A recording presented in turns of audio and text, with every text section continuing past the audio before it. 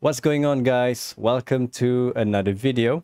So for today's app script uh, episode, uh, this is basically a problem statement from one of my friends the other day where he has a hard time on recollecting the holidays that he has in his uh, specific country. So after further study uh, and trial and error, uh, apparently we can actually use uh, Google Apps Script to sort of um, extract the holidays that we have in the country itself. So um, I guess this is something that uh, would hopefully benefit all of you. And without further ado, let's check it out. Okay, guys. So to start off the app script, so as usual, we have to go to extensions and click on app script. So this is the script that I'll be sharing with you guys today.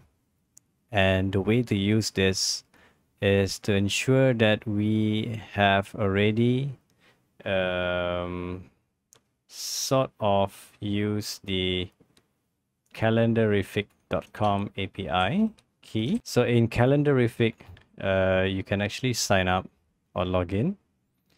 And in your account that you have created you will find the API key.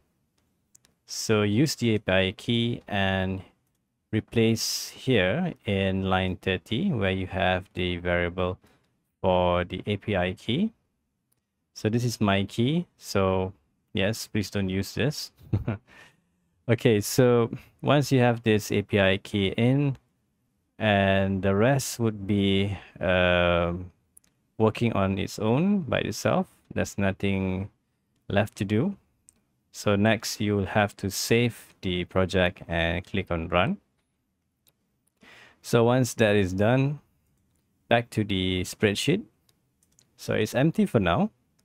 Okay, not to worry. I have set the columns to be created based on the data that we'll be ex, uh, extracting from Calendarific.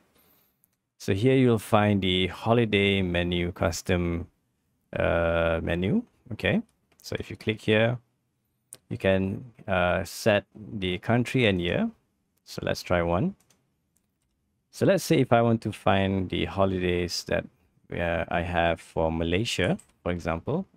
So the country code for Malaysia would be the uh, MY based on the on the ISO. So if I click on OK, you'll find the next prompt to insert based on the year that we want to extract. So let's say it's 2024 and I click on OK. The script will then uh, extract the uh, holidays that we have in Malaysia for 2024. Okay. So now, let's say if I want to add more, let's say this time I want for holidays in the US. So I click on OK. 2024. It will then append uh, to the next row that is available. So starting from row 64, you will then see all of the holidays such as the Martin Luther King Jr. Day, Orthodox New Year, Civil Rights Day. So of course, all of this is now um, extracted. And what the script does at the same time is it will then remove some of the duplicated holidays extracted. So now you can see uh, it's all unique on its own. Okay? So guys this script is for you. You can give this a try. Okay? So let's try another one. Final one before we end this video. Let's say for india which is in for 2024 then you can see all of the holidays that we have for india in 2024. All right.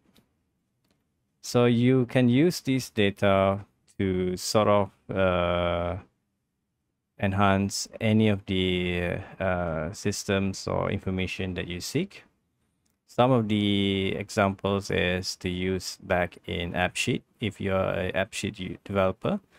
So they can use this to your advantage rather than manually extracting it uh, using any other methods available.